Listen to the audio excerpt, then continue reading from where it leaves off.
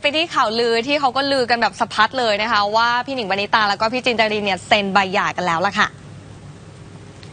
ยังคงติดตามข่าวของนักแสดงผู้จัดละครคนดังหนิงปณิตากับสามีจินจรินนะคะ หลังจากที่ก่อนหน้านี้ฝ่ายหญิงได้ฟ้องศาลเพื่อดำเนินคดีกับมือที่ 3 เรียกค่าเสียหายที่ทำให้ครอบครัวแตกแยกค่ะ ล่าสุดก็มีข่าวออกมานะคะ ว่าคนสนิทได้ออกมาเปิดเผย ว่าทั้งคู่ได้เซ็นใบหย่าเป็นที่เรียบร้อยแล้วค่ะ แถมฝ่ายหญิงไม่ได้อะไรเลย แม้แต่ค่าเลี้ยงดูลูกสาว เพราะฝ่ายชายไม่ยอมรับข้อตกลง และในขณะที่ครอบครัวฝ่ายชายเองที่ไม่อยากให้ทั้งคู่หย่าก็ไม่ทราบเรื่องนี้เช่นกันค่ะ